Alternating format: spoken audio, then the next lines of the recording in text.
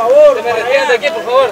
Vamos, vamos, retírese. Otro día, madre. Dale, madre. Cada quien en su vehículo. Arriba. Dele, dele, retírese.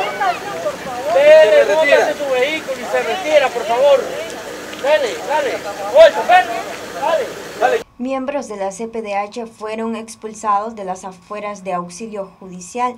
Estos llegaron a conocer sobre la situación en que se encuentra el precandidato, así, como demás líderes campesinos, Medardo Mairena, Freddy Navas y Pedro Mena, tras su detención la noche de lunes acusados nuevamente del asesinato de cuatro agentes policiales en Morrito en el 2018.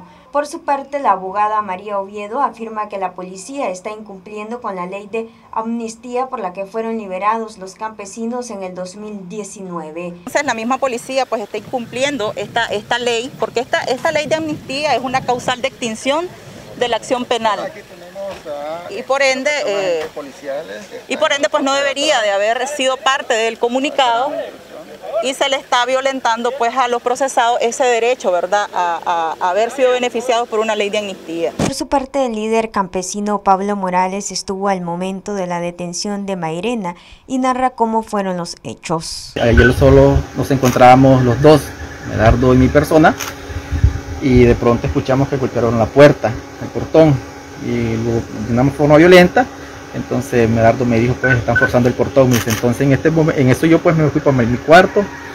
Este, él se fue para su cuarto también, pues, o sea, pero la intención era abrir, ya, porque la, aquí el que tenía que abrir era él, pues, no, era mi persona. Y después llegaron ellos, fueron a su cuarto, lo levantaron y también me sustrajeron a mí también y me enchacharon y a Medardo prácticamente, pues, eso fue cosa de poco tiempo y se lo llevaron. Entonces yo ya me quedé solo eh, persona con el resto de oficiales o policías. Y fue cuando ellos empezaron pues a, ver todo esto, aquí allá, a, mirar los cuartos pues y preguntar. Entonces, y me preguntaban en, dónde está la computadora.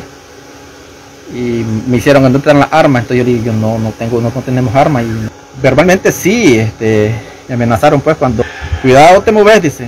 Entonces me dice a mí, entonces le dice el otro, por, mí no hay problemas, y se mueve un balazo que le va a pegar. Noticias 12, Darlene Telles.